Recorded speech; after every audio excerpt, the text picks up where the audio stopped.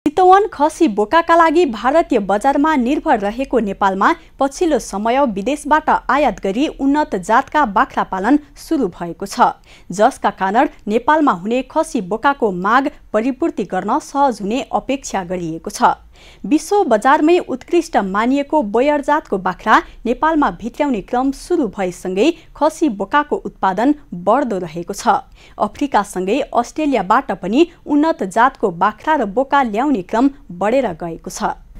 पूर्वी चितवनको रत्ननगर नगरपालिका नौमा रहेको सेन्ट्रल नेपाल गोठ फार्ममा अहिले अठाइसवटा बोयर जातका बाख्रा र बोका अस्ट्रेलियाबाट ल्याइएको छ।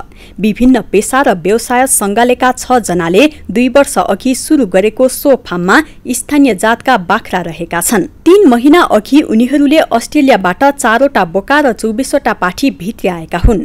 शिक्षक प्राध्यापक भेटनरी डाक्टर व्यापारी मिलेर उक्त फर्म सञ्चालन गरेका हुन्। फर्मका सञ्चालक संयोजक रमेशचन्द्र आचार्यका अनुसार अस्ट्रेलियाबाट अठाइसवटा बोका र बाख्रा फर्मसम्म आइपुग्दा करिब छप्पन्न लाख खर्च भएको छ। यसलाई हेर्दा एउटा बाख्रालाई दुई लाख खर्च भएको उहाँले बताउनुभयो। फर्ममा क्रस गराई पचास प्रतिशत बोयर भएको एउटा बोका जमुनापारी जातको एउटा बोका क्रस गराई पच्चिस प्रतिशत बोयर जातका बिसवटा पाठापाठी छन् भने स्थानीय जातका एक सय पन्ध्रवटा बाख्रा रहेको सञ्चालक आचार्यले बताउनुभयो। स्थानीय खरी जमुनापारी बारबारी र तराई जातका रहेका छन्।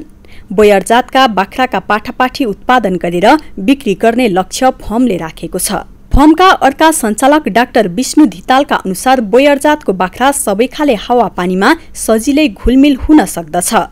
एक दिनमा एक सय पचासदेखि तीन सय ग्रामसम्म तौल बढ्ने हुँदा खसी उत्पादनका लागि पनि यो जातको बाख्रा उपयुक्त हुनेछ। एक वर्षमा एउटा खसी अस्सी केजीदेखि एक क्विन्टलसम्मको हुने बताइएको छ। समूहगत रूपमा सुरु गरिएको यो फर्म चार बिगाहा क्षेत्रफलमा फैलिएको छ।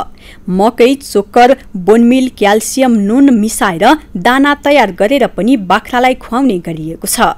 जापानमा दुई वर्ष काम गरेर नेपालमै व्यवसाय गर्ने उद्देश्यका साथ फर्किनुभएका सोही समूहका अर्का सञ्चालक आशिष बमले बाख्रामा राम्रो आमदानी हुने देखेपछि साथीभाइ मिलेर व्यवसाय थालेको बताउनुभयो। एक हजार बाख्रा पुर्याउने लक्ष्यका साथ काम अगाडि बढेको उहाँले बताउनुभयो।